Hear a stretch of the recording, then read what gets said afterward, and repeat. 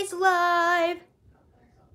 Surprise sneak attack. All right, I don't have anyone in right now. I just decided to go live on a whim and i am going to go through everything and then I'll post it later because I did not announce this.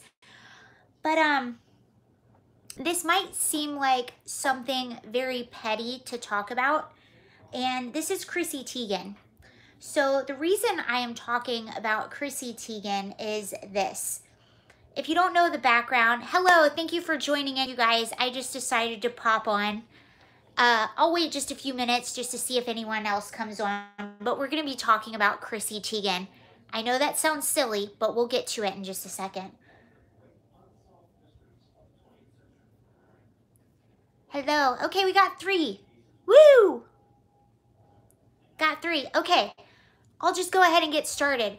So if you don't know what's been happening with Chrissy Teigen, good evening, everyone. Hi, Chris. How are you? Thank you for joining. Okay, cool. We got a few more. So the reason I'm talking about this is this is Chrissy Teigen. And if you don't know what's been happening with her, uh, Chrissy has a, a long history of calling people out and bullying different people. Well, why are we talking about this on here? On this is a channel that's sort of more political. This seems a little petty to talk about. Well, the reason I talk about it is because so if, if you're if you're unaware, Candace Owens recently called out Chrissy Teigen for bullying and encouraging young underage girls. I'm doing good, thank you. All right, awesome, Chris. Thank you for being here. Um, Chrissy has called out and bullied young girls on the internet, encouraged them to commit suicide and things like this. And the reason I bring this up on this channel is because this is someone who is followed by the President of the United States of America. Hi, Special K. This is a, a woman that is followed by the President of the United States of America and who has bullied and demonized Trump supporters, especially conservative women. And this is a little bit personal to me because this is the type of thing that encourages people in my close circle to bully and say nasty things to me as well. I've had family members, I've had close friends that because I was hired on a conservative sketch comedy show, because I make these videos, and you guys have followed me, I think, for a while now, I'm pretty sure you have a decent judge of my character, maybe not all the way, but I've had people tell me that I have no morals, that they don't know who I am anymore, all of a sudden because I'm outspoken about things that they don't agree with. And sorry about that.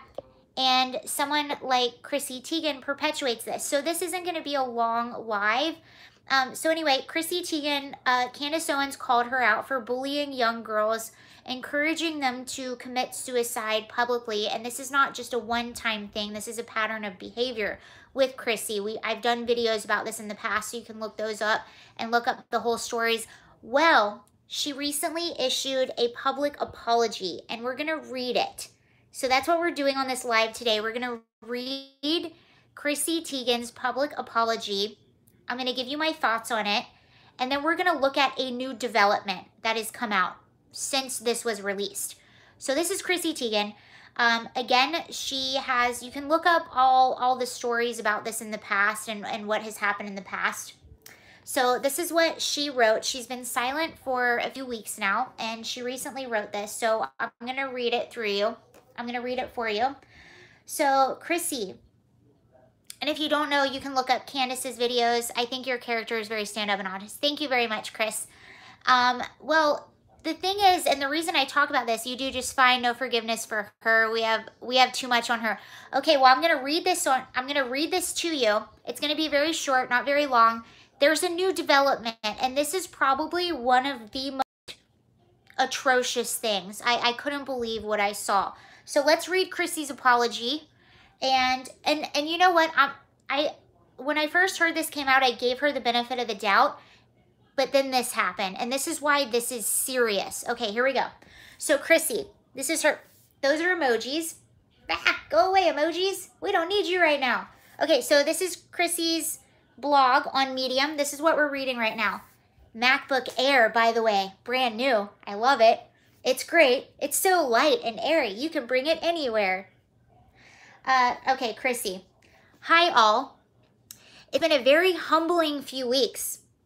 I know I've been quiet, and Lord knows you don't want to hear about me, but I want you to know I've been sitting in a hole of deserved global punishment, the ultimate sit here and think about what you've done. Not a day, not a single moment has passed where I haven't felt the crushing weight of regret for the things I have said in the past. As you know, a bunch of my old awful, awful, awful tweets resurfaced. I'm truly ashamed of them. As I took them, as I as I look at them and understand the hurt they have caused, I have to stop and wonder, how could I have done that? I have apologized publicly to one person, but there are others. When she says she's apologized publicly to one person, thank you. I know I just buy, I spent all my money on that. Not all my money, but I spent a good amount of money on that. Um, when she says she, public, she, she apologized publicly to one person, she apologized to a young girl who she blocked. Hi, Kelly. We're publicly reading Chrissy Teigen's uh, apology for her behavior. Okay, let's continue. I publicly apologized to one person, the person she blocked, but there are others, and more than just a few, who I need to say I'm sorry to. I'm in the process of privately reaching out to people I've insulted. It's like my own version of that show, My Name is Earl. See what she did there? Is it in crayon? No, she typed this, but the, the first draft might have been in crayon. We're not sure. Um, so you see what she did there? She tried to make it cute and funny by comparing it to My Name is Earl. This is clearly a PR stunt, or not a PR stunt, but this is a PR push to help her um, uh, improve to help her save face. So what they probably told her was, hey, just be quiet for a little bit and then come out with this apology. Okay, so let's move forward. I understand that they may not want to speak to me. I don't think I'd like to speak to me. The real truth in all of this is how much I actually cannot take confrontation. So someone that bullies people and tells them to commit suicide can't take confrontation. But if they do, I'm here and I will listen to what they have to say while apologizing through sobs. So she's saying, Please feel bad for me. I'm so sad. There is simply no excuse for my past horrible tweets. My targets didn't deserve them. No, they didn't. Um, no one does. Many of them needed empathy, kindness, understanding, and support, not my meanness masquerading as kind, casual, edgy humor. I was a troll, full stop, and I am sorry. When I first started using social media, I had so much fun with it. Hi. Hi, Felix. When I first started using social media, I had so much fun with it. I made jokes, random observations. Think of all the engineers working day and night to develop this amazing new platform and technology, connecting people all over the world to learn, create, and, and find kindred spirits. And I use snark at some celebrities. That's what you call it. In reality, I was insecure, immature, and in a world where I thought I needed to impress strangers to be accepted. If there was a pop culture pile on, I took to Twitter to gain attention and show off what I had at the time I believed was crude, clever, harm, harmless quip. I thought it made me cool and relatable if I poked fun at celebrities. You mean when you poked fun at young girls who were a lot younger than you and had a smaller following than you? Now, confronted with some of the things that I had said, I cringe to my core. I'll honestly get sharp stabbing pains in my body, randomly remembering my, my ass. I deserved it. Words have consequences, and there are real people behind the Twitter handles I went after. True, I guess. Chrissy is strange for sure. Yep, you're absolutely right, Chris. It gets better. Don't you leave just yet. It, the best is at the end.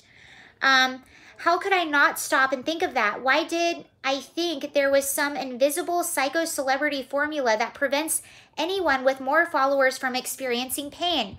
How did I not realize my words were cruel? What gave me the right to say these things? I wasn't mean in my everyday life. More than once, someone would come up to me and say, "You're such a nicer, you're so you're so much nicer in person."